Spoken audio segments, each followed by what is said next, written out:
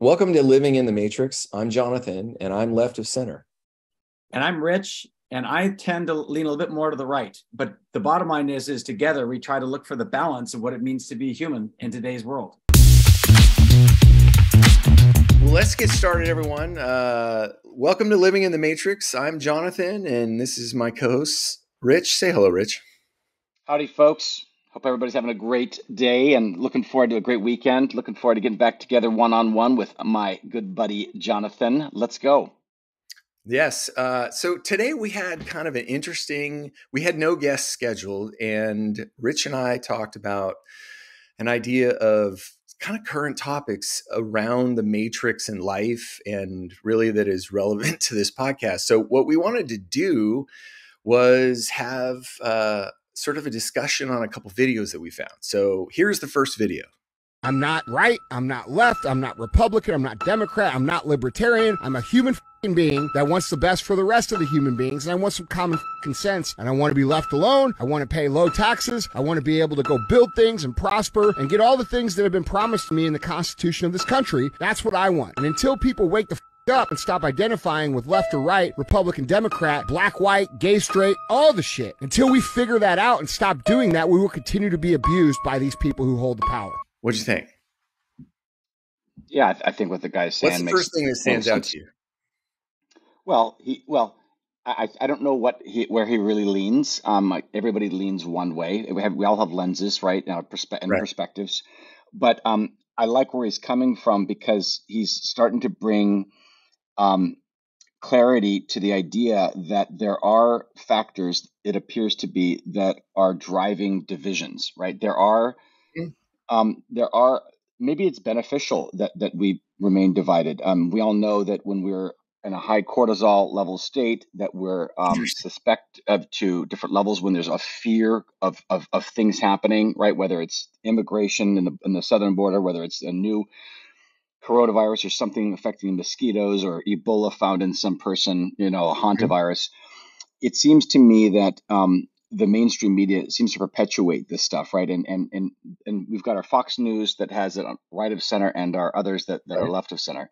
So I think what he's done is he's identified the fact that, you know, at, at the end of the day, if we could all look at ourselves in the mirror, we would all want to prosper. We would all want to say, yeah, I, I don't want to kill anybody. I don't want to um, cause problems. Uh, I might debate somebody, but um, if I could live my own life peacefully and, and work hard and, and not have a shit ton of money taken out in taxes, I, would want the best. I, if everybody gets that same benefit, then everybody wins, right? And so, how do we separate, you know, all of the bullshit that's being foisted upon us and come to that same agreement on certain things? The biggest challenge to this, again, is you have to live on a farm you know that doesn't have any outside access to avoid all of the division because you're going to be exposed to it no matter where you go. So how did we come up with that solution of what he's talking about? Well I, you know the thing that really uh, got me about what he said was common sense. That's the first thing that really grabbed me. well his opening of i'm not left or right because yes. I don't like the idea of being left or right that i need to define myself i have to separate myself from you. I don't like that idea. I like the us first the we like sean talks about. Mm-hmm. i think there's a lot of value but i'm also recognizing that doesn't the we doesn't um, exclude the i. The i exists. This avatar exists and i think both together it's always a both and. Like going back to david artman it's a both and approach. Love, mm-hmm. the kingdom is ultimately both. And it learning grace to, extends to all, and uh, grace uh, alone saves. Meeting yeah. in the middle. That's yeah. the this place is where love exists. And I think that's mm-hmm. the thing that I'm throughout this entire process of doing this podcast, I've realized we've explored ideas in people's lives that are around polarities and it's the polarity that is where all the emotion is and i i keep coming back to brittany and that middle point of how do the poles come and meet in the middle and recognize the validity of both sides. And i think that's what I, I there's a passion in what he said around common sense. Like you look at washington and it's just this is arguably politically the worst time in my life. And I was around for Nixon, Reagan getting shot, all the impeachment shit. This is the most concerned I've ever been for our country, ever. And I think that's the common sense that he's talking about that's missing.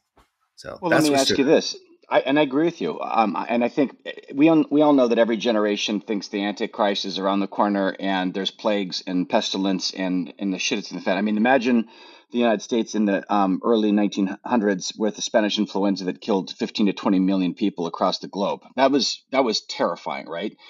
And in World War One and World War Two. But even then, what we have now is something that seems to be so overarching. It affects everything about us: our psyche, our livelihoods, our future generations, our planet.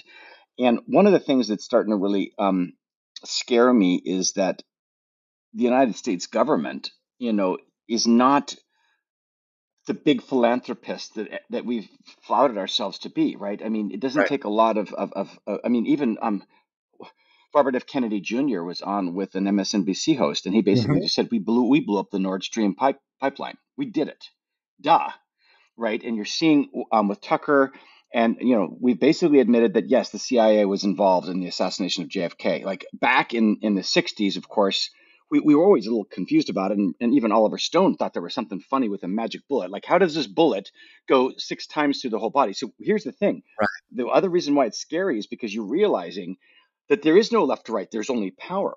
That, mm-hmm. the Mitch McConnells of the world are, are not the good guys, right? The right wing, the, the, the Republicans aren't necessarily the good guys. The Democrats aren't necessarily the bad guys, or vice versa. Well, we have right? the Clinton family and the progressive side. I mean, it's like it's like the cabal of power. It's it's it's wild that politically, yeah. here's what's. I always look for what's going to be the black swan that can change a culture. You know, like Me Too was a black swan type of idea where things change rapidly and quick in an age of social media in a good way, though. Because, because Absolutely in a good way. Harvey Weinstein was taken down for years of predatory behavior.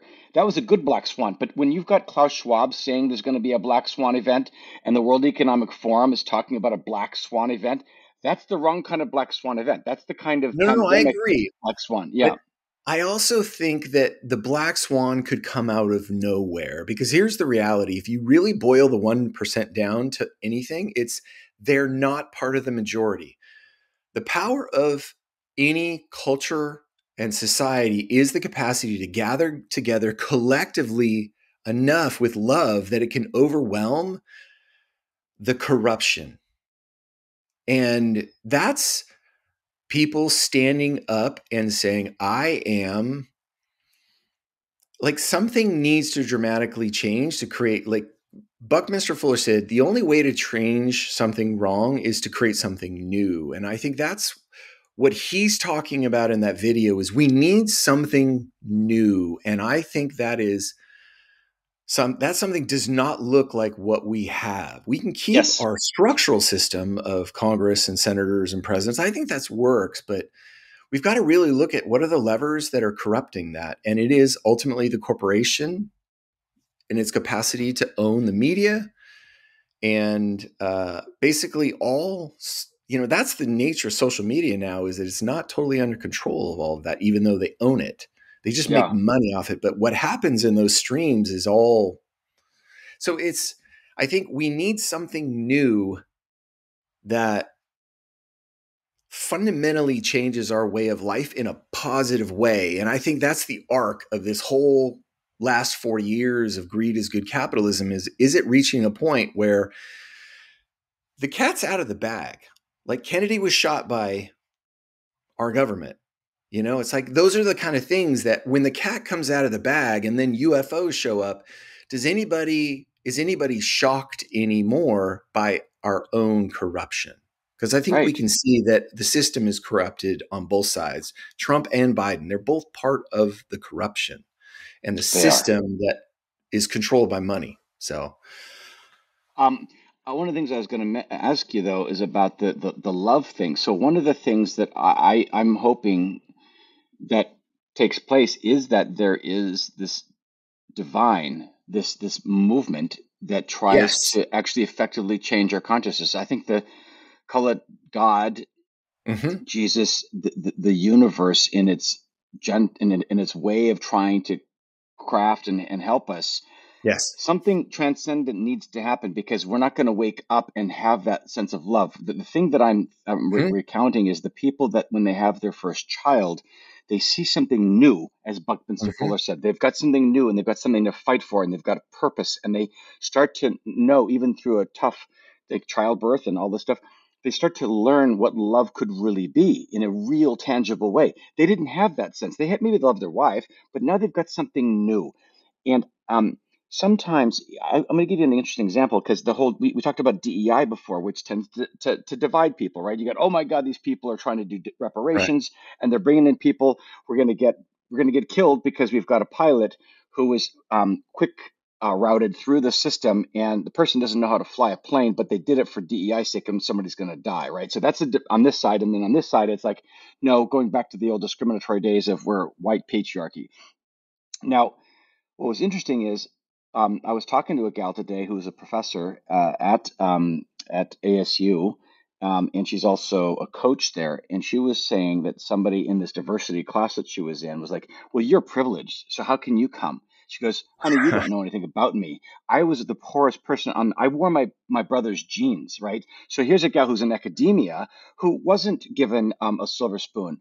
And one of the things I, I thought of was like, how do we come up with creative ways to bring people together that actually educates and creates empathy or at least the other. So yes. we, me, me, and my wife were celebrating with that bonus that um, she got, and we were at a cafe in Ojai called Tres Hermanas. And I thought, hey, is this called Tres Hermanas because it's based on the three sisters running the place? She goes, no, it's about three agricultural things for the indigenous people, how squash and beans and corn all grow together almost in a divine symbiotic way that helps sustain a culture. I'm like, damn, that's so cool. That's the mm-hmm. Three Sisters. And right. I'm thinking that's something new that I liked. It creates a sense of um, of curiosity. We, mm-hmm. we, I, I, learned something new and and an other that brings together, and it and it brought me that. And so, how do we create a paradigm where outside of having a, a new relationship or having um, some kind of extant thing bring you into a situation where you're almost brought into the kind of love, how do you foster ideas that begin with curiosity and shared common interests so that we do get to that point, right? Because we could be beating our heads all day long if we don't have a good formula. Well, I think I would go back to Paulo Freire here. So Paulo Freire wrote Pedagogy, Pedagogy of the Oppressed. Yeah. And yeah. for our listeners who don't know, because it's a it's an esoteric work, but it's brilliant. It, he studied how people come out of oppression, and uh, he I think he was the Chilean minister of finance or something like that. I can't remember. I think he was Brazilian.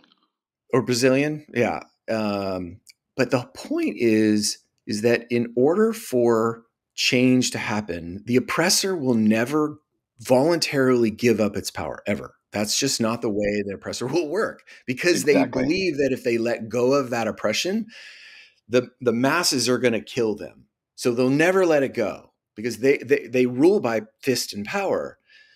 And what he said is the only way to uh, get the majority to see their oppression is to establish their dignity. You have to teach people of their own dignity and value so they will learn that they are valuable enough to fight for ontologically. They, yeah. Yeah.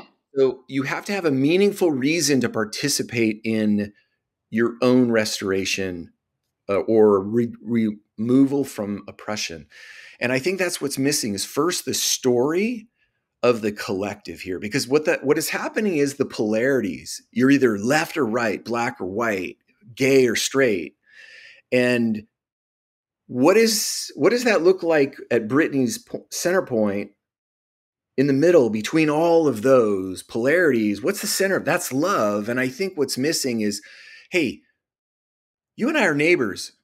You want to agree not to harm each other? Like simple agreements like that to say, listen, let's just agree to trust each other. And how big does that trust circle exist? Like, what if we could establish simple ways of establishing trust between people so you know that it's there? And that's the fabric digitally you could do that. and the and so it's from there all of these creative ideas can happen because people learn to trust each other that's that's my point is i think we are at a state where we need a structure of trust because that's what our parents had our parents had remember when we were kids you didn't worry about your neighbors you know mm-hmm. it's like a lot of people you left your bikes in the driveway. You left the bikes in the driveway, right? All kinds of stuff. You assume the best of your neighbor, not the worst. They weren't, you know. Yeah, we had racism. Okay, that's the one we had in spades, but yeah. the polarity was dominated by the white party. So it wasn't even like they were in control.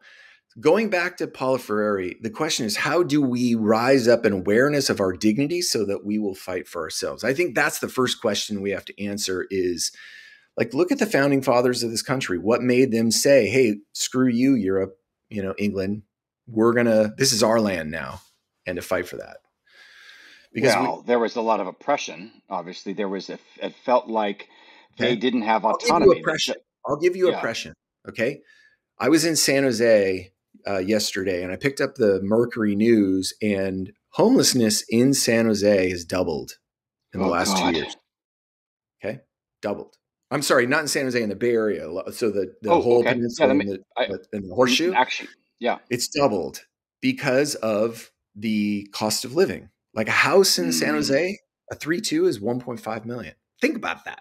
The logic of that, you know?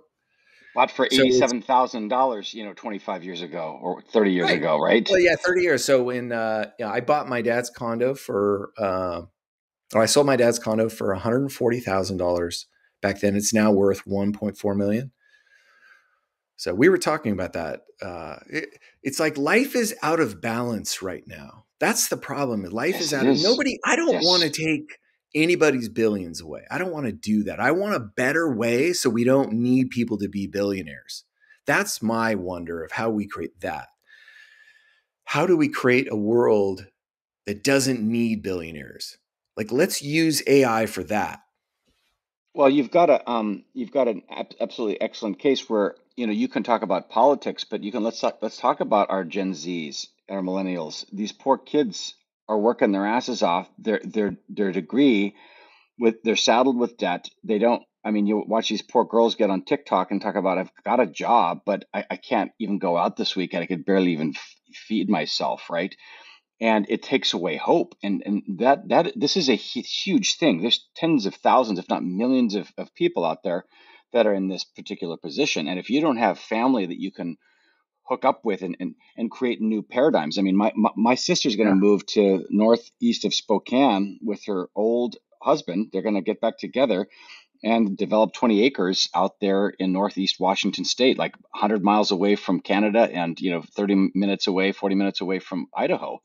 Maybe that's what it looks like and maybe that's where community comes from to try to get back to grassroots and maybe that's where farming and getting back to the basics happen. But because how else could you insert something that's going to change that you know i mean well, trump's going to try to drain the swamp and, and, and, and get things back to where they were prior to biden coming into the office right which people were relatively happy uh, the um, we had energy independence. Um, homelessness um, was bad, but it wasn't as bad. I mean, it's literally gotten so bad now. It's partially, partially because of inflation. Yeah. But we've got a border where you've got millions of people. Now people are starting to get killed, and finally mm-hmm. people are having vigils about it. I mean, people are getting raped and killed every freaking day all across this country by, by people who don't give a fuck.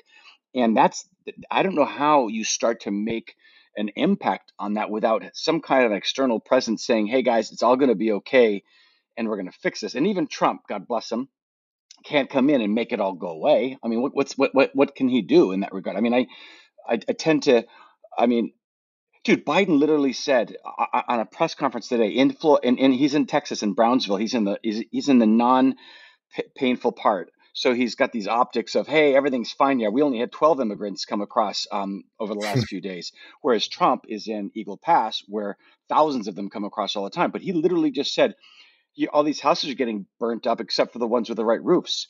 Now you know where that comes from. There's a conspiracy in Maui where all of these, and in Chile, oh yeah, the blue roofs. If your if your roofs are blue, like Oprah's, like Zuckerberg's, like all these other people, then you don't get torched by the DEWs or whatever it is.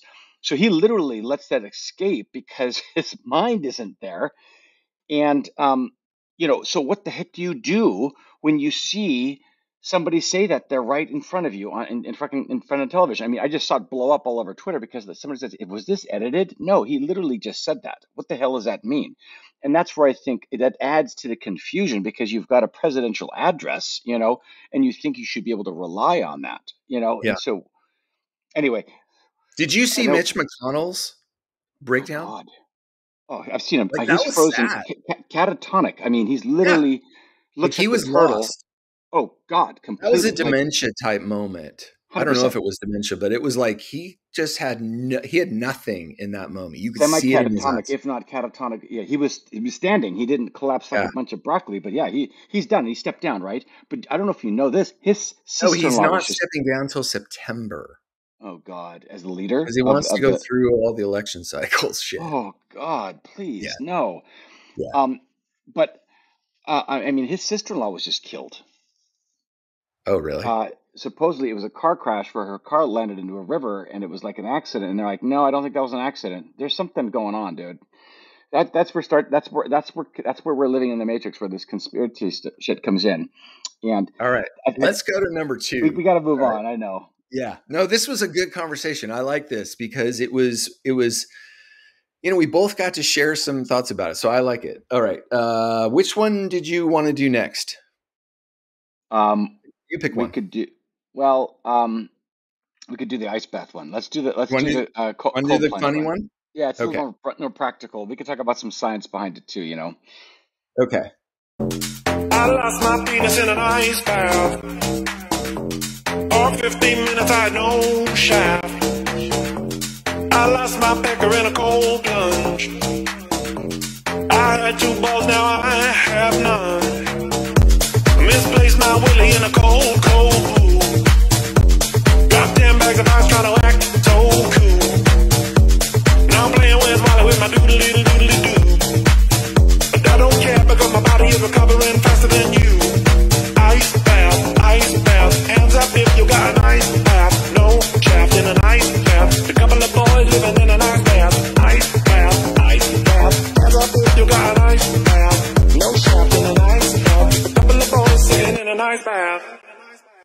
So what'd you think? That that was creative. I have to give that guy like supreme props for creativity. I thought that was very, I was brilliant. What'd you You think? got a lot of different ways to say that uh, hopping in an ice bath's bad for your pecker and your and your gonads. Um, so here, here's the thing. Let's talk about where this the origin of these ice baths started, and then we can talk about how it recently got Okay. more and more popular. So there's a guy named Wim Hof who is this guy from the Netherlands. He's a Dutchman, and he's always exposed to this cold stuff because it's freezing out there. And what he started doing was these combinations of ice plunges and just cold exposure, as well as um, deep breath work to help you know get your body and mind in this amazing state. And you know, over the course of time, you can watch him just become more and more flexible and and and have this energy and almost this craziness. And then as you start to pile up the YouTube videos, you watch people who have been bedridden with some types of inflexibility, some kinds of disease, other types of problems where after they start doing these cold plunges, they start getting better physiologically, more flexibility, less inflammation, more of a will to life, et cetera, et cetera.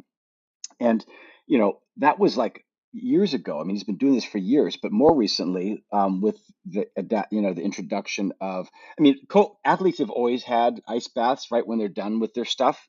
So uh, traditionally, if you're in a sports room, like if all these guys at, in, at the NFL, they're, they're going to have a really rough day out there and they're going to come off the field and they're going to hop in that ice bath, which helps that kind of um, beat up body, right? Their bodies get beat up all the time and it helps um, kind of restore that. Now, the whole idea of the, uh, uh, believe it or not, though, with the cold plunge is like, no, you want to do it first thing in the morning because that's what activates all of the good properties. And we've seen things like with Dr. Brecka talk about three or four things that happen when this happens physiologically. Number one is it um, introduces cold shock proteins to the body. The liver sees that immediate danger and introduces these proteins, which help, you know, get your dopamine, mitochondria, and other levels, that which also mitochondria spins up in, in, in, in firing up the powerhouse of the cell through um, the brown, fel- brown fat activation. So brown fat gets activated as well. On top of all that, he was saying that you know, if you look at it physiologically, doing like five minutes of an ice bath is the equivalent of doing like hours of high intensity workout in terms of actually shredding fats and, and in terms of doing things like putting your body into a state immediately of having done exercise. And then other people like even look at it like, hey, if you do this in the morning, it's the hardest thing you're to have to do all day. It's to help you get through the day. So there's so many levels of that, right? But now you're starting to see the repercussions and the and the and the and, and the pushback. And some of these people, like you do know that your body thinks it's dying, right? When you jump into a frozen lake, or if you're like ice fishing yeah. and you fall in, your body is going to go into full blown fight mode. Let's talk about the cortisol spiking, the mm-hmm. adrenaline, mm-hmm. all that type of thing that goes through your body. Why would you want to do that to yourself, right? Um, for a for a 20 minute dopamine rush or an hour long dopamine rush that you get as you come out of that whole process. Mm-hmm. So I think really what it comes down to is another one of these kinds of scenarios where we're in a world where we're exposed to all these kinds of things. Oh, you you, you having a rough life? It's your gut biome. Here's 80 mm-hmm. million different products that you can produce. This yeah. tablet, this pill, this probiotic, this kind of um, diet to help with your gut biome. And then you realize that some of this is absolute bullshit. You don't even know what's happening. So, to, just to answer your question in a short, because I do ice baths, right? I'm, I was in one yesterday and it was 36 degrees.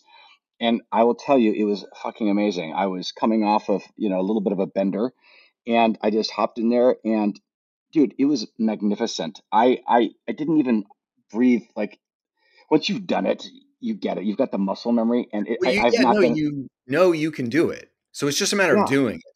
Yeah. But I, I normally am in the 40s and sometimes I'll settle mm-hmm. for low 50s, but 36 is a big difference well, between 36 cold, degrees. Dude.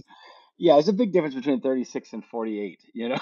there is. Yes. Well, you gotta, um, that's new level of memory. It is. Yeah, You're reaching a new level. Because here's the thing is I think the pros of ice bath infinitely outweigh the cons because to the first point the you're putting your body into a state where it thinks it's dying is the biohack.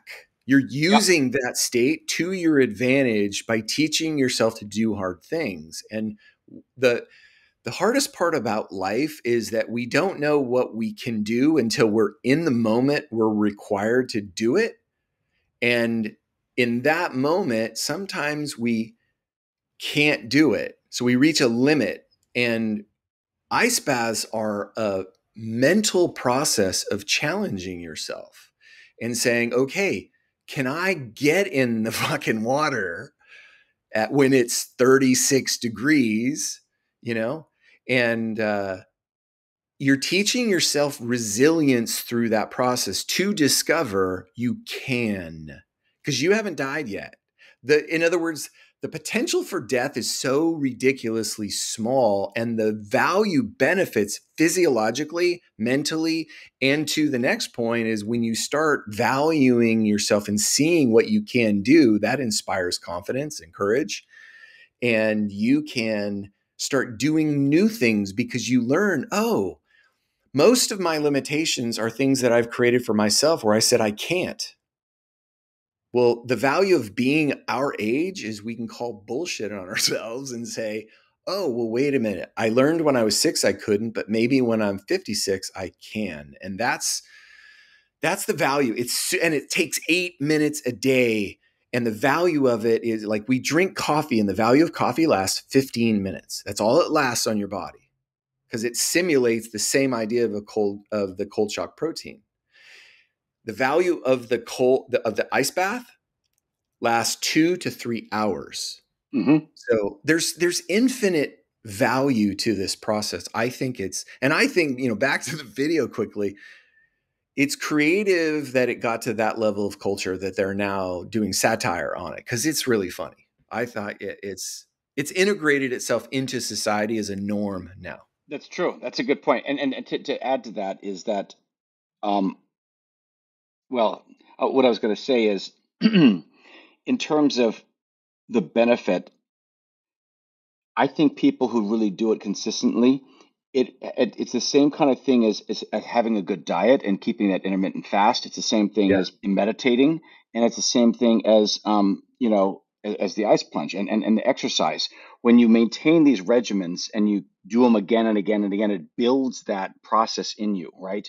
And Yes. like success begets success, right? And so I think when you overcome these things, it probably could even help with addiction. It could help with relationships, etc.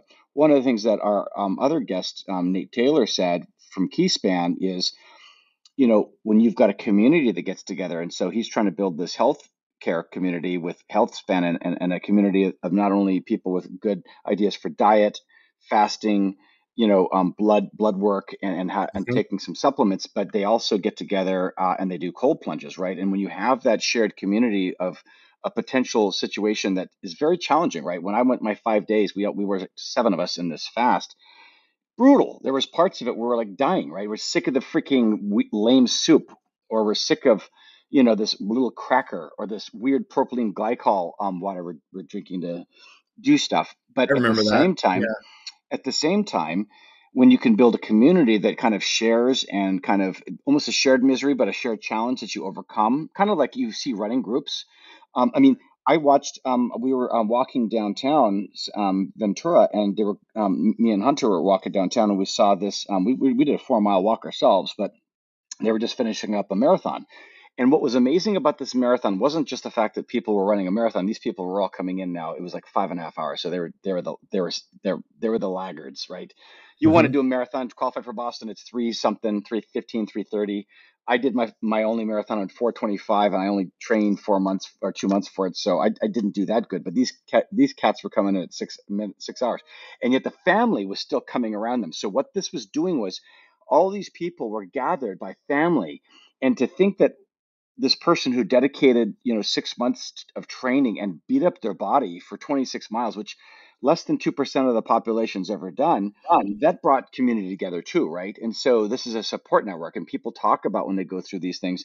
I wouldn't have been able to do it without my wife who took care of the you know kids when i had to do my long um, runs. And so maybe what, as we're talking right now jonathan we're talking about ways to actually overcome the problems we just talked about in our first discussion how do you build a sense of community, love, purpose, Mhm. and shared um, joys and shared tr- tribulation that you overcome? That I mean, anybody, you black, Oh white, yeah. gay, Oh yeah. um, Hispanic, Republican, uh, transgender. Any anybody, who is could do a welcome in the ma- anybody can enjoy the benefits of an ice bath or, or a Right. marathon and overcoming something that's challenging. And maybe that's or enjoying a good meal. Whoa, Mhm. the flavors of that were incredible. Yeah, I never had plantains in my life with this kind of, you know, Jamaican stuff, right? Or whatever. So, Let me you speak know, to that real quick. yeah. Let me speak to that real quick because you just brought up a really good point. Is I don't think people can get to the capacity to enjoy things together because that's the value of the meal. Like my family was all about the meal, but you can't get to the point of the meal until there's trust. And I usually don't trust you because you potentially could hurt me. And that's sort of the general malaise keeping people apart. We've got to find a way to help people get back to the center rather than being so polarized. It's the polarity that's keeping us from the dialogue that happens in the middle. And I think that's the uh, that, that's the problem that we've got to solve. Um, And I like the way he, cre- you know, here's you and I got on really extensive biohacking over the last year and a half. hmm And what has been your overall experience of it? Um, so a few things. I would say that um, consistent versus consistency is more important than high intensity. So working out moderately three to four times a week is better than working out once really intensely, right? I Mhm. think having having the consistency is key. Learning things about um, limiting caloric intake and having those 12, 14 hour windows of not eating, which helps slough off dead cells, right? We've learned physiologically that when the body is deprived of of a source of nutrition and, and calories, it goes into a state of looking at the cells in the body and becoming very efficient at, at, at getting rid of the ones that are actually bringing us down, right? So I would say like that was it was a huge aspect. Um, and the third thing is, you know, um, and when we go through T-Span, they talk about getting sun. Like there's a daily journal, right? Did you Oh get yeah. enough sleep?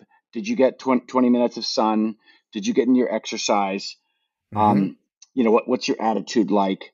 And, you know, um, did you get your meditation in, right? So these are things that are very holistic. And when you can actually bring them all together, this is where I, I, I think, and this is where I think people are legit. It's, it's kind of common sense, but at the same time, um, it, it's still hard for people to overcome. I, I we follow. You've heard of Carnivore Aurelius. He's been on Joe Rogan, Oh yeah. and um, Yeah. he's he's the carnivore diet guy, right? I mean, he's hmm talking about grounding. Oh, we talk about grounding too, right? hmm Um, grounding, and these things are like so basic, and it's almost as if we just go back in time to the early days when we were out there, you know, changing this the the the the, the face of the United States, right? We were hunting, right? We were chopping wood. You're making things with your own hands. Even people talk Yeah. about when you're making and, and cutting your own vegetables. These are all part of that symbiotic relationship. And if we go back to the basics instead of processed things and and fake artificial things, blue light from Dr. Kruse, I think we can actually overcome a variety of ills. The ills that we talk about of depression, anxiety. Now, we know bipolar, that's almost impossible to um to alleviate outside of medication. There's just something so broken there, right? That if people get off their meds, they just it's really bad. But are there parts of um, anxiety and depression that if you did spend your time having a good diet, good quality community time with people who love and share interests, diet, exercise, you know, sun, these things, hmm and meditation, could we alleviate a lot of this stuff? And is this another reason why we are somewhat um, us versus them in terms of big pharma? And, and and you look at the kinds of things every every single time somebody starts bagging on some other thing, they come up with something new like Ozempic, right? So that's what I've learned this uh, over this season. I, you know, what's interesting is I, um, I've done, uh, ground. I got a grounding sheet. Right. I ex- extensively feel like I'm sleeping better consistently. I, I like Your that's your wife was okay with it. I bought mine, and my wife says no. I'm not. I'm not. No, she was totally. it. We put it under a normal sheet, so it's the sheet. Oh, you do put it under. Okay. Yeah, we put it under the sheet, but that still works. It still works. Uh, Okay. I was yeah, told that it, it likes it if you like it, that you should have contact with it. So if you're telling me it has effectiveness um, underneath oh, the sheet, then that might be a good it fit. for me. Good. Um, I've done fasting. Fasting to me has been the most beneficial thing I've probably ever done for my health. Yep. I simply reduced the quantity of food Yep. and I have I basically lost 30 pounds of basic fat That's right. Yep. and that was profound and I've kept it off. Um, I eat two times a day and on weekends I have dessert. Um, and I may have more than that, but typical on the weekends, I'm pretty good during the week and I've been able to maintain my weight. Um, so that's been hands down the most beneficial. Um, I was uh, doing sun gazing every morning for five minutes with my eyes closed, but it worked wonderfully. And I've noticed I've been out of that habit and I feel like my body misses it. It's weird. It's like my body keeps like, dude, go outside for five minutes, you know? And it's, it's a wild process that happened to me of just my body started craving sunlight. It was wonderful. Um, and I Oh think it, no, I saw a I think of it brightens one day, mood. and I'm like, I got to go get that. And like Dr. Kruse, I, I've seen a, a Twitter picture of him. You've got this line of sunlight, even through, even though it's through a window, and all the Mhm. and all the mammals. You got three dogs and two cats lined up only in the sun, right? Right. And they're like, they get it, right? I know. So Dude, isn't that I, happy I, watching the sun? A dog just kick it in the sun for like hours. Like, dude, a dog's life, man. Look at this dog. my dog, dog right? likes to lay on his back and his stomach to the sun. Totally. Hey, he's he's he's tanning the perineum. Don't Yes, he forget is. that's supposed to be important too in the balls, right? If you got him. So, uh, so I bought a cold bath and I have not used it yet. Part of that is because it's like 110 degrees here in the summer, so it's hard to do anything in the summer. And in the Yeah. cold, it's hard to start in the cold. I've I've bailed on that one. I have not been successful. Um, I haven't bailed on it. I just haven't gotten to it. I'm still going to get to it because I have it. Um, I uh, dramatically reduced my alcohol intake. I think that was another thing that I've this year. I kind of said I, I'm comfortable with two drinks on the weekend. I don't need to. I'm eh, I'm totally comfortable with it. That was actually pretty easy. Uh, the thing that changed and I think the thing that I think had the most impact was really the idea of switching my brain from this won't work to this will work. And that's the idea of manifesting. I think mm-hmm. that's really the core of manifesting is this idea of switching your brain from the negative to the positive potential. Mm. Because when your brain is operating on the positive potential, you're always believing in yourself and believing that it can happen. And you're looking for the signs of serendipity because we need serendipity along the way. We need the breadcrumbs. If you're not looking for the breadcrumbs, you're not going to see them and you're not going to have the motivation, the recurrence to keep going when it gets really hard unless you've developed a maturity to keep going. Because if you yeah. don't have resilience developed, like I'm trying to teach my kids right now how to develop resilience, and it's hard because it requires suffering to learn. It's the hardest thing. And we want to go, oh shit, that sucks. But in staying in that, that's where we learn what we're capable of to be able to handle it. And then we can let the ne- negative energy hit us, but not deeply affect us. Because that's all we have to do is let go of the negative energy. And I think that's that shift in my brain from I'm instead of assuming this won't work in my life, I'm going to assume it will. And I think it has dramatically impacted me, that shift in my brain. The, to what, that I can. What about microdosing? Uh, yeah, oh yeah, that's another one. Um, that has had a profound effect on me. Uh, but I don't. I have yet to have a really. Hmm, I don't want to say that. That's not true. I, I it has made me a much freer person with the world around. I'll, I, I wasn't uh, on anything last night, but um, when I was in uh, uh, last night I was at Oracle or at the Chase Center in San Francisco to see Gonzaga play San Francisco. And mm. I had this this is a moment of elevation of like what would it feel like? Like that shifting of brain. I sat there and every single person around me was laughing and smiling at the exact same time. Wow and it was weird. I mean, like I'm not talking about like five or ten people. I'm talking about hundreds of people because Gonzaga was playing out of their mind, and everybody was into it. And I just looked. Are they making a run? Are they making a run for March Madness? They're trying. They're not. They're, this is probably the weakest team they've had in 20 years. Uh, okay, they're young. They're young. They don't have a core player defined yet uh, that is elevated. They don't have that player this year. Anyways as I'm seeing that and I had this flash, it was like, is it possible for a humanity to go through a Me Too movement that shifts them in a way that we stop that polarity and start loving our neighbor? It's that simple, just to that nth degree of just loving the person next to you. And it felt in that moment, I had this very deep sense of experiential feeling of this is what unity feels like. Mm. It was mm. wild. It was one of the one of the more wild experiences I've ever had in my life, and it only lasted for about four seconds. But it was this vision of unity where humanity can elevate to a point where it stops fighting so much because that's the polarities and says oh guess what the more valuable place to be in is here in the center you know that's what our parents' generation was trying to get to after World War II, is to this place where we all, they're all on the same page.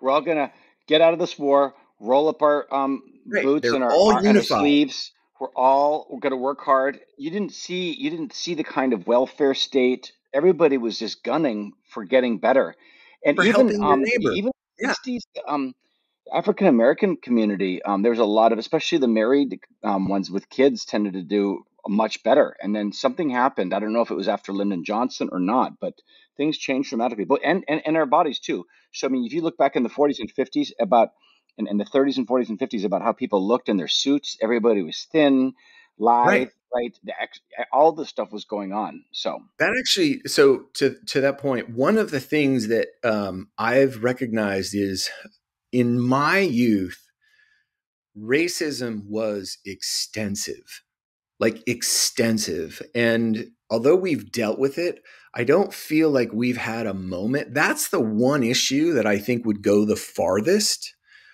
is this idea of what if we could have a moment of reconciliation collectively between blacks and whites or whites and people of color i think is because whites are this group that is their backs are against the wall and there's got to be that moment of peace because that's how paulo freire talked about it is that the when the oppressed rise up and discover their value they don't gain their value back by killing the oppressor Mm-hmm.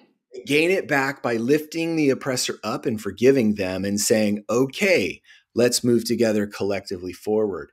And realistically can there be this moment where we can extensively deal with this collective problem of racism in our history and say visually to the people is this is a moment of reconciliation. And white saying yeah that is our lineage. Let's move forward. Can we find forgiveness and reconciliation? That's what i think uh, and the reason why i brought that up is i'm in the process right now of looking at developing a documentary with that idea because i think that is one of the biggest potentials for radical change in our communities is Oh, the this idea TRC as well. Are you going to reconciliation. tie into Mandela and the Truth and Reconciliation Commission in, in South Africa as well? Very similar kinds of constructs, right? yes I guess the question is, how do you perpetuate it? Because it seems to me Mhm. that even Yeah, though they made great, they made great strides. That's a really um, important point, but let me speak to it because Yeah. I, I thought about that. It's the perpetuation problem is the second problem to solve. The first is we need a landmark moment like a Declaration of Independence or a some landmark movement like a million man march thing that says collectively we are starting this process. And i think that's the first thing that needs to happen. And and but that is an important question to answer. How do you sustain that movement because there'll be backlash but there it's will falling least apart in South Africa today. Yeah, today it's like it's remember pretty when oh, do you remember when obama got elected Unfortunately, um, yes. I know you you're not a fan of I totally get it. I go, but racially, that is one of the most defining moments in African American history ever. Because this was a black man rising to that level to say, okay, we broke through and we're we're now part of the process. That was a huge moment. And that's the type of level of event I would love to see happen that is something that is landmark that is collectively people were weeping because for the first time they could see the glass ceiling had been broken that's all i'm thinking of is how do you how do you create those moments like what nate is trying to do those moments in communities that are landmark moments so Yeah. All right let's go to the next Oh. one uh, What was it? What do we got next? So all the stuff in our reality is made up of things that are almost all nothing, no thing.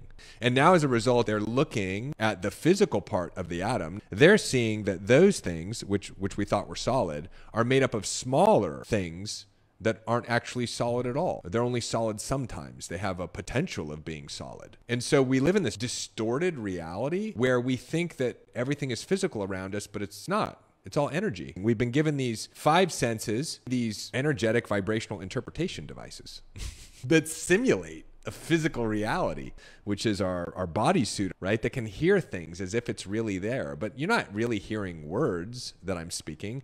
Your tympanic membrane is interpreting very specific vibration and energy that I'm speaking from a mouth that doesn't even really exist and translating it into this conversation. Like, if you're not wowed, then I don't know if you're alive. all right what do you think man He's he's right. I mean, you look at a chair and the chair and you, you can sit in the chair and if you really open what that is up, you see that it's actually just a bunch of tightly knit um, molecules, right? It's it's the nature of the wood that Well, let's together. for definition for definition for our audience. Let's Yeah. give the audience what he means by the part that doesn't exist. Exist. It's ninety nine point nine nine nine nine nine percent is empty. Nothing. Yeah. Is nothing. Okay, there's nothing there. Yeah. And now he's talking about the point zero zero zero zero zero zero one percent that we think does now really doesn't. That's the Well, that, I just potentiality. clarify that. Yeah. Yeah.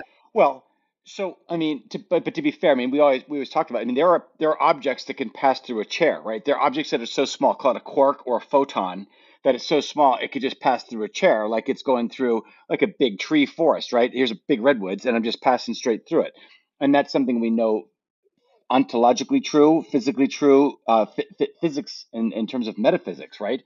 But I guess the question I I would have is, a um, if it is mostly nothing or it could be potential, does that mean you could change it at will? Does that mean it could be changed? Does it mean the potentiality and the reality of it could be in the state of flux?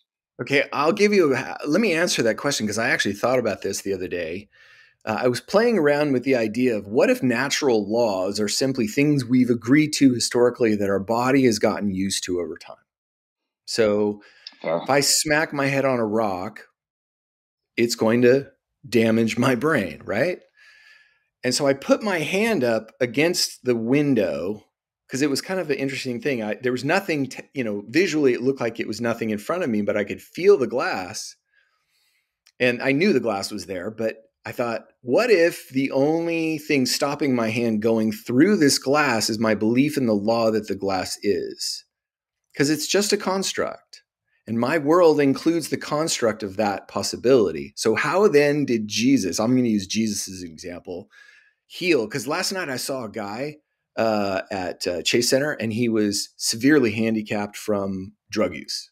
Like it, he was, and his whole leg, I think, had gout. Um, Was he a homeless and- person? Yeah, he was homeless. in- yes. okay, yeah. And no, I'm sorry. He wasn't at uh, Chase Center. He was at the Starbucks be- where I met my son for lunch. And I was going, how did Jesus just go say, I'm going to heal that? Like, that's what I want to be able to do. And that was the thing is, is it simply because I don't believe I can do it? That's the question I'm asking for myself right now is, is my limitations created by my own self limitations to this uh, this narrative, this grand narrative, the Matrix? When he got out of the Matrix, he could bend a spoon, or he contemplated. So that's the question I'm asking right now. Yeah. Because I, Well, he, I he love defied the law that he was pre pre given, right? exactly. The kid, the kid helped him understand that it, there was no spoon, right? And that's how he was able to bend it around, and then he got the gift later on. Jesus disappeared through crowds. How did he do that? You know, like Jesus is an easy one because it's one that most people understand or have heard the stories. Like Jesus healed people. I would love, I wanted to heal this guy. I don't know why. He just caught my attention and I wanted to heal him.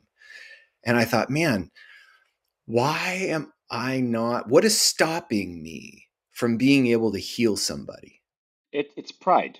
Um, I had the same thing happen to me uh, multiple times, where I've seen somebody in a wheelchair, and there's almost a, a, there's there's something tugging at you to walk up, Right.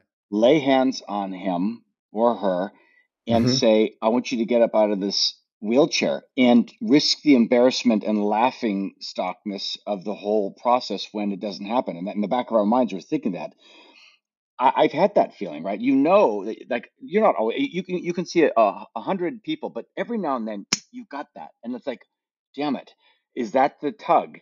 Is that something that I should have acted on, right? In terms of like even a homeless person, right? You see a hundred, they're they're asking for money, and they're coming up with cute little new signs. Hey, fuck it, or like flipping it over, and this is all positive, and like just give me a beer, right? I mean, sometimes it's really funny, and sometimes it's just that.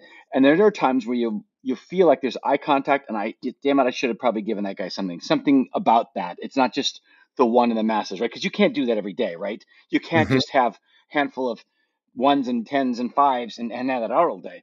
Um, so is is that what you think it might be? In my mind, that's that's what would be holding me back. Is Well, like I'm going to look like a fucking Yeah, idiot. it Yeah, has to be. It's self limitation, but I don't know what the limiters are.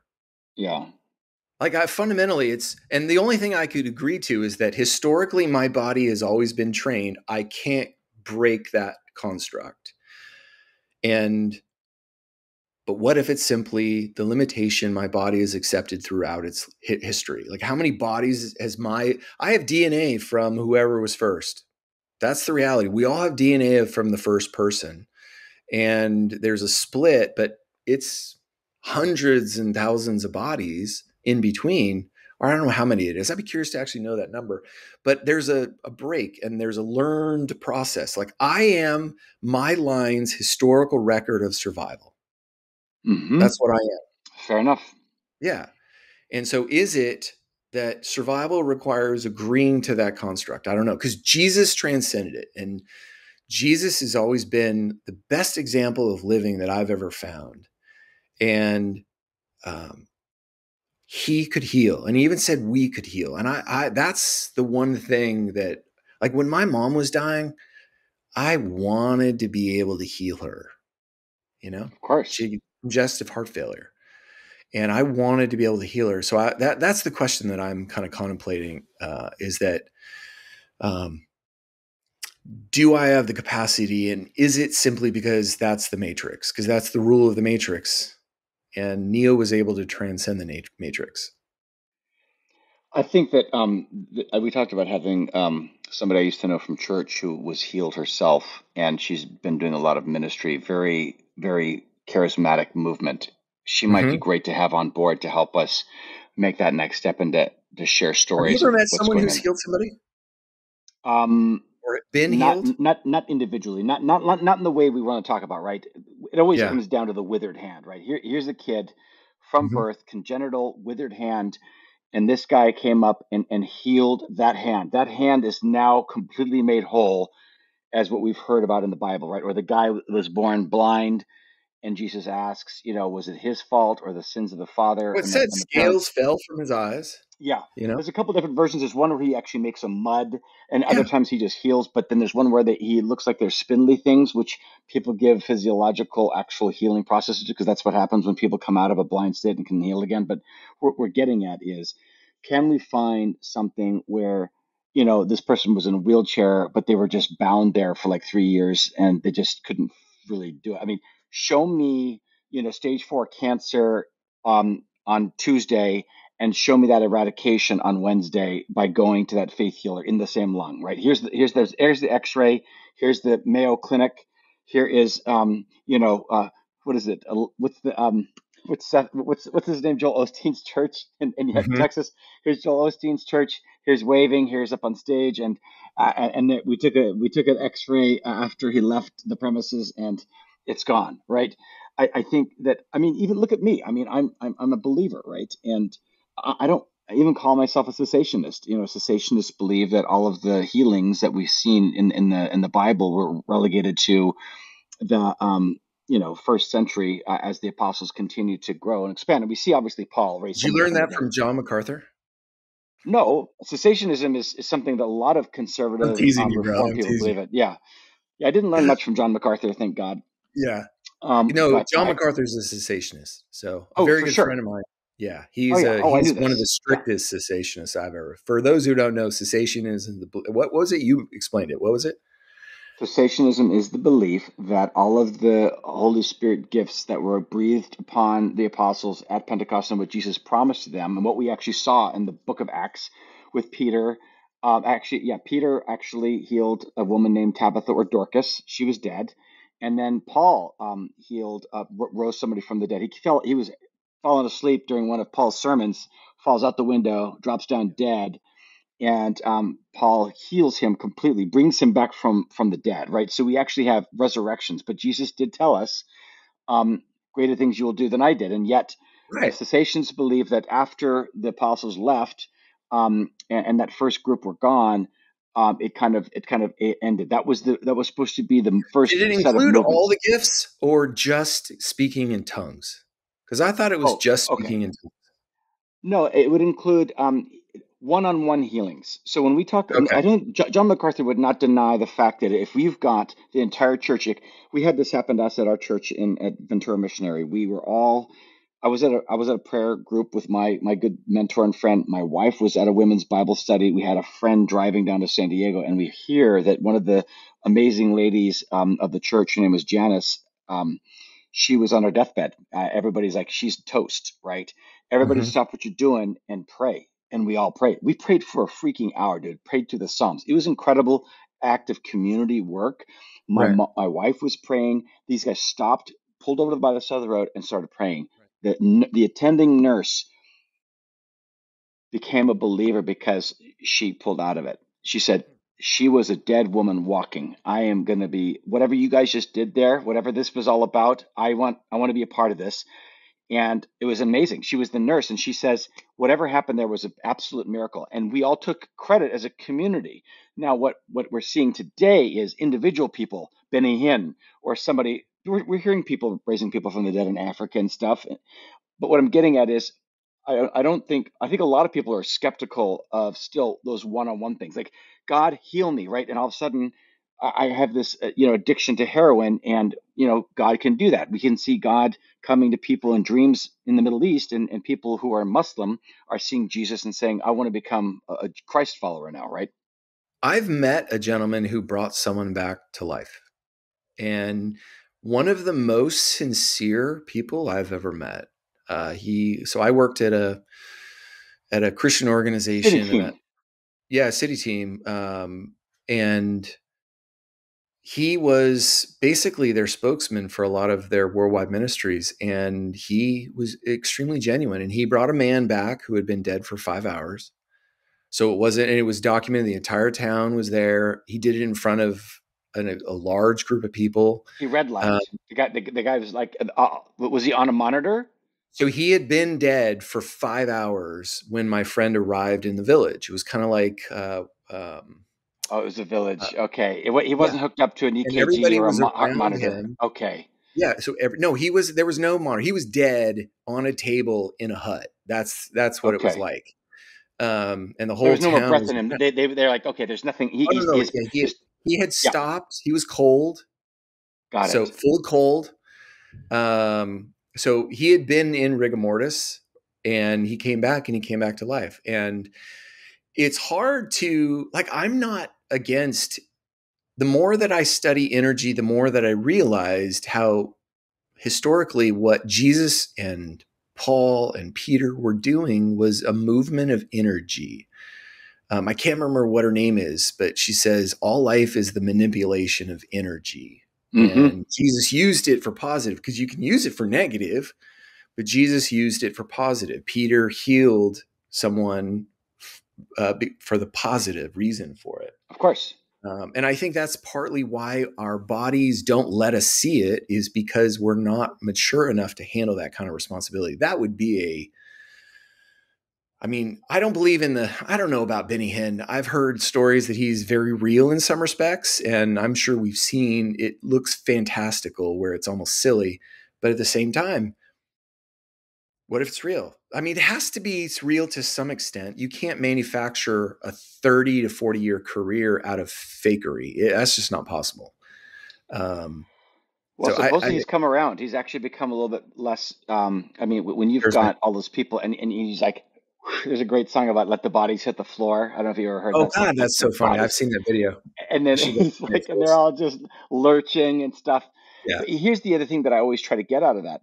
It's great to have these wonderful m- movements of elation and being slain in the spirit and stuff. But then, what do you go out and do with that, right? And it's the same thing about the reconciliation thing. It's about also that that awesome feeling of of everybody smiling and laughing, hundred people around you at the um, Gonzaga game, mm-hmm. and um, you can't live in that forever, but it does give you a glimpse of what something like that could look like.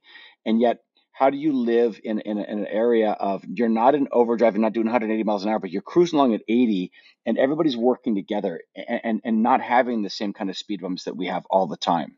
So here's my question. This is what got yeah. me because right before I went in the game, I watched this video about elevating your life. Mm. And the mm. concept is, and uh, Cleburne talked all about this is that we're going to reach a point where we elevate. And right. is that is that elevation a moment? Because that's what was happening in that four seconds. It was almost like a foreshadowing of what Cleburne was talking about was what if I wake up one day and the shift has happened? What would you do with that? When you're already like the elevation process, what if it's going to dramatically knock you on your ass because it's going to be so good um, I'm looking for the good, and I'm wondering if what that shift looks like. If it, you know, what he was talking about. I think that's probably one of the biggest biohacks that I've really taken on this year is this idea that I am intimately source. I am. That's what Jesus said. Jesus said, I am. And I've taken on that idea now for almost a year. And I think it's pro- that to me is probably the most profound link that has made the rest really, really good. Yeah. Um, So I I, I, still I, like- still differ with you on this because when, Oh, when. Jesus says. I am, he's he's quoting um, I am that I am. He's he's in it's again it's John eight fifty eight, and he is literally claiming divinity at that stage, right? So he's Right. not just saying I am Cleburne or I am happy and I'm I am positive." at an energetic level, Yeah, he's is no claiming divinity, and that's why they were going to try to kill him because he's he goes, "Oh, who are you? You you you, you know Abraham?" He goes, "Before Abraham was, I am." Right. Right? He said Are it. you saying you're greater than Father? But, but- and then Right. that's when they're like, "Okay, this guy is freaking. This guy's an absolute blasphemer." And what I'm getting, one of the things that I was going to laugh about when when right when you've talked about like I am God and I'm I am I am fully God. I am part Mm-hmm. of that construct. I'm like just just give me a give me the, give the audience just a little glimpse of what that moment of creation was like when you breathed life into the world, Jonathan. Just help me understand just that moment of revelation as you as you Well, here, here's how I, because I, and I want you to be a, I want you to tell me what that experience was Okay. like. Just give me a little hint. so- Uh, I started this idea on my walk with my dog. So that's where I really get into it consistently. I talk about this idea in my head with myself as I walk my dog. It's my meditation time. Mhm. It's I, I'm creative. I shoot reels. I have thoughts. I take thousands of notes. And as I started seeing this possibility, first it was a possibility of what if I am?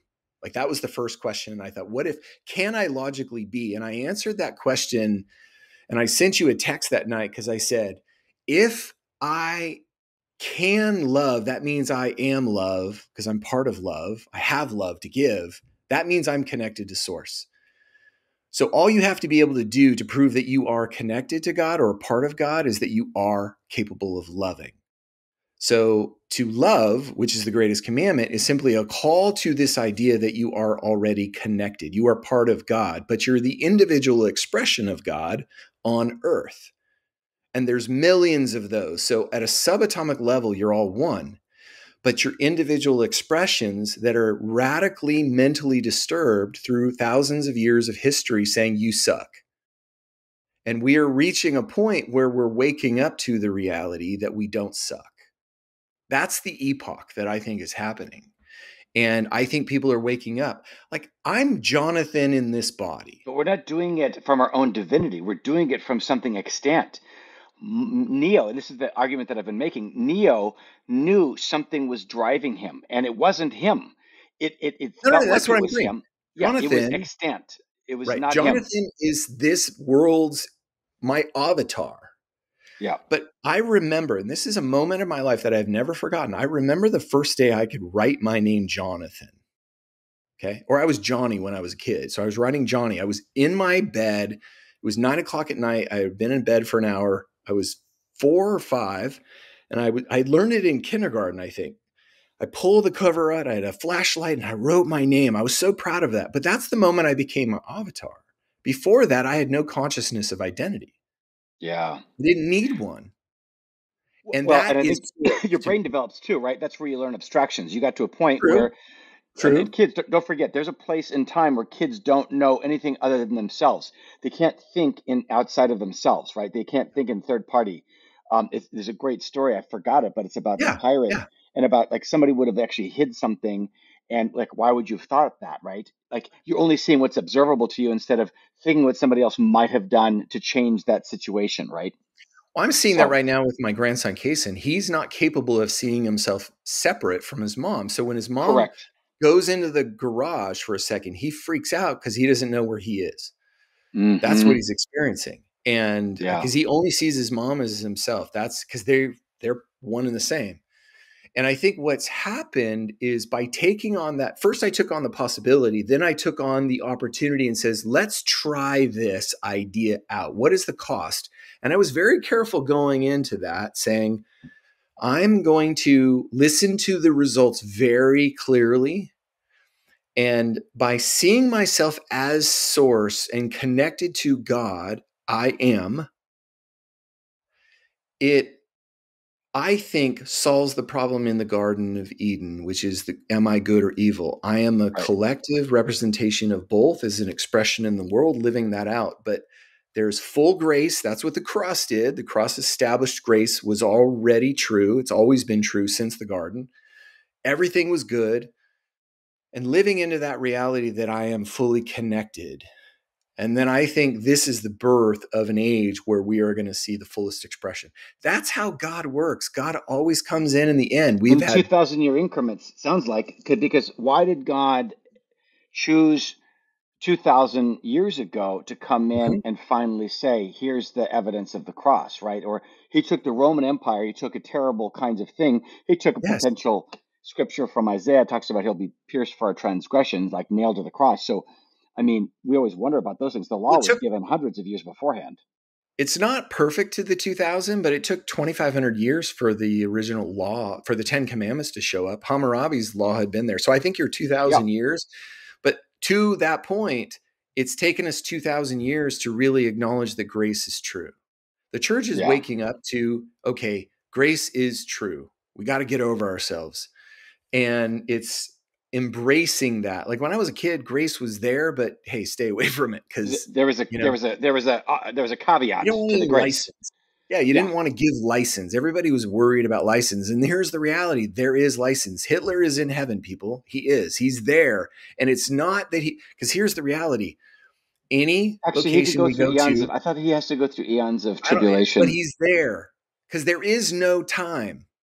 That's There is true. no time. That's So true. he's there. It's a representation, it's an avatar like me of possibility. That's all Hitler is. He's a representation of possibility of the human idea in this narrative we call life, the matrix. And he's going to be there. So the question is not how do I get him out of heaven, but how do I learn to deal with him being there? And you can only do that through love. yeah, You can only do that through love. Mao's not because there. love- he killed. eight- He killed eighty million people. Mao Mao's not going to make it, dude. He's toast. I know. And that's the hard part of the kingdom of God is that it includes the criminal. It Yeah. did. Jesus was crucified with two criminals to his left and right. And Yep. that that is the one I think burns people the most. But we never because if you and I are both the God image at a at a subatomic level, we're both avatars having different expressions of the same idea. I don't I don't want to kill you because you're me. And that's Right. what I think we're waking that's what mindfulness is waking us up to. That I think the world is and I think Gen Z is halfway there that they're tired of fighting against each other but they don't know how to love each other. They've been the polarization is only possible when you lose the concept of love. And that's Oh. why the evangelical church, which was the voice box for most of America, took us in a wrong path. It got away from love and went to politics. And that is But what that is a progress. So there's they've moved from wanting to kill each other to not wanting to kill each other. They're too tired of that, and they're too beat up from all the bullshit. Now they just need to le- learn to love. There's still a ton of us older folks that are still willing to bring up arms. We're still And- we're still at the level of fighting. Well, also, I want to say, in terms of love, I'm not saying love uh, just means, oh, let's have a woo woo ooey gooey experience where we just deal with our people. It's not. Love is the judgment of good. It's saying, Rich, you are good, so I'm not going to kill you. Okay. And in that space, we deal with those people who break that law. That's the only law there is, is the law of love. That's it. There's no other laws. We create laws, but the only law that exists in the universe is the law of love that says you are good. You're here. Guess what? The first law of thermodynamics is you're here. Now you got to deal with it. So that's consciousness. And if we don't wake up to removing those conflicts, but I think this is God's story anyway, so we're just participants in it. And that's the mystery of it is, as Alan Watts said, we're going to wake up and go, oh, that was a cool dream Totally. that's my that's my that's my one big trump card is is that I think Alan Watts's got it right. So we're going to wake up realizing we are God who has played a trick on ourselves so we could have a good laugh. Yep. So That's a good way to finish. How can you beat that? to all of our listeners, please subscribe, review, let us know who you'd like to hear. If you have someone you'd like to introduce to us to be on the show, please do. There's uh, you can go to livinginthematrix.ai Uh, and we are Living Matrix Podcast on Instagram. Would love to have you follow. Uh, this has been one of my uh, th- i love these. These were the original conversations we've had for the last 15 years of just talking stuff and having these wild ass conversations. So i love that rich. It's been awesome. To all of our listeners have a wonderful week and uh, we will talk to you soon. Much love everybody. All right